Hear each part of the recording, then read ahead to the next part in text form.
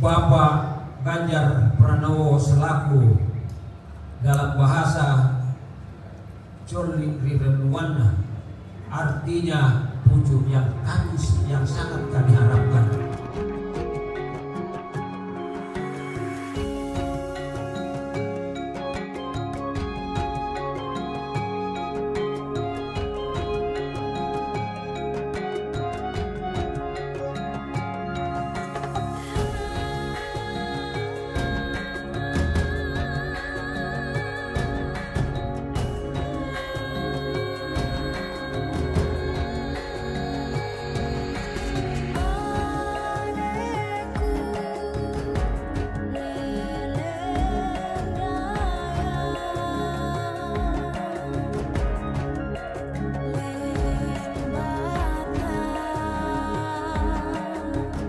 Indah, indah.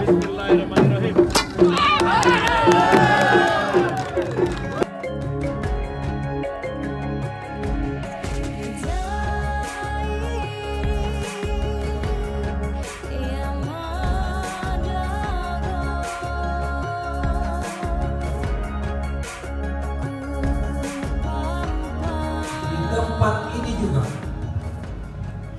Insinyur Soekarno selaku Presiden Republik Indonesia yang pertama berjanji untuk memberikan wilayah Tanah Luhur ini salah satu daerah istimewa seperti Aceh dan Jogja. Tapi hal itu tidak terlaksana sampai semuanya berakhir. Namun dengan ini harapan kami dari masyarakat Tanah Lu dan juga Kedatuan Lu memberi harapan ini kepada Bapak Ganjar Pranowo selaku dalam bahasa Coli Rirenuana artinya pucuk yang kamis yang sangat kami harapkan. Jika seandainya Allah memberikan ridhonya kepada Bapak menjadi Presiden Republik Indonesia maka harapan kami adalah bagaimana menjadikan Luhur Raya ini sebuah provinsi. Ini harapan kami.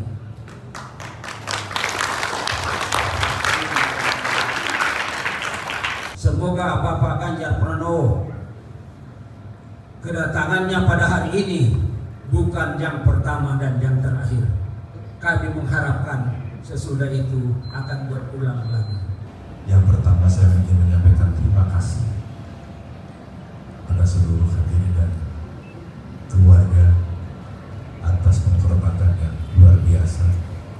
Saya merasa bangga, terharu, bahagia bisa bertemu dan mengenakan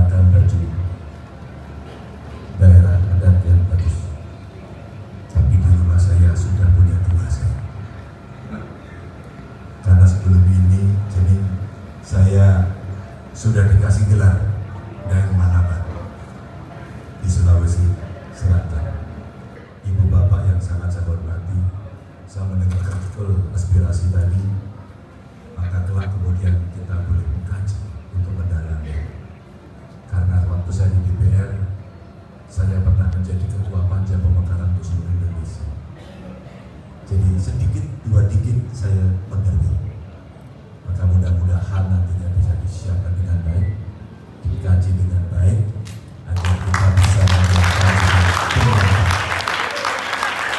Dan tentu saja agenda reformasi kita salah satunya adalah otonomi daerah.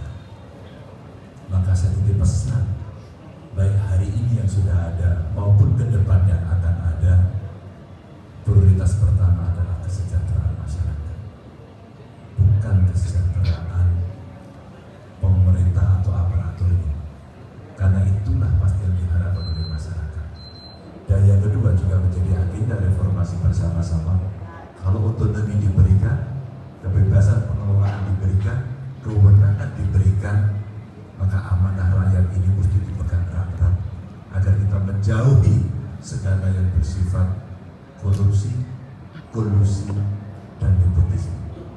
Kalau itu hilang, maka rakyatlah yang akan mendapatkan manfaat yang banyak.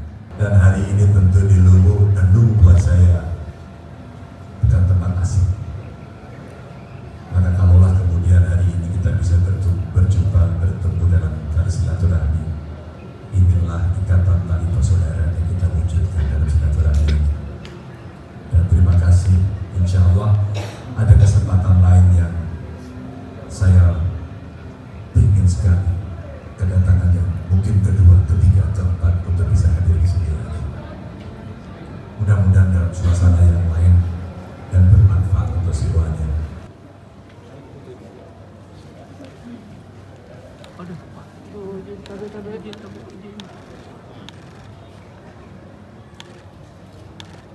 Selanjutnya penyematan tim Kedatuan Lu.